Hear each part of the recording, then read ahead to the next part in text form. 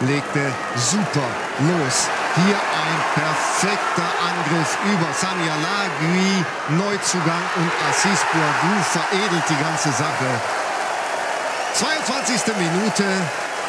Assis Boadous trifft zum 1 zu 0 gegen den. Im Anschluss Flipper im 16-Meter-Raum der Bremer. Assis Boadous nutzt diese Verwirrung und nagelt den Ball rein. Also Doppelschlag für den besten Torschützen aus der vergangenen Saison. Da erzielte er schon 15 Treffer. Hier das Siegtor gegen